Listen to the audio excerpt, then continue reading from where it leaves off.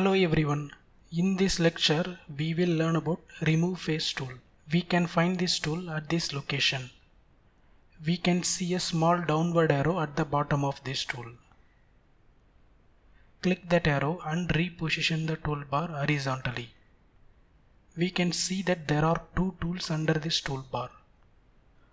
Remove face tools primary purpose is to remove the filleted faces or surfaces during finite element analysis pre-processing or when we want to remove certain faces from imported CAD model which is created from other CAD software and contain no history on the specification tree.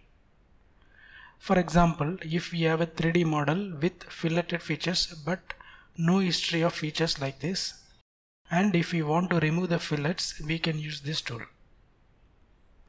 Click on remove face tool. Remove face definition dialog box opens up.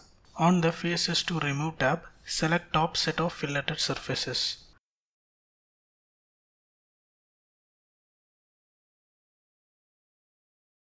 Click OK. We can see that fillets are removed.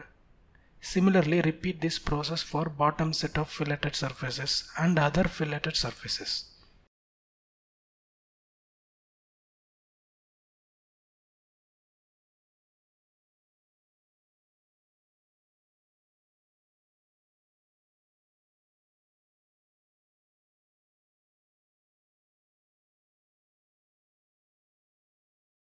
We can see that we have removed all the filleted surfaces when there is no history of features on the specification tree. It is very important when we use this tool, we have to select the filleted surfaces in order. For example, if we select the top set of filleted surfaces and the corner surface,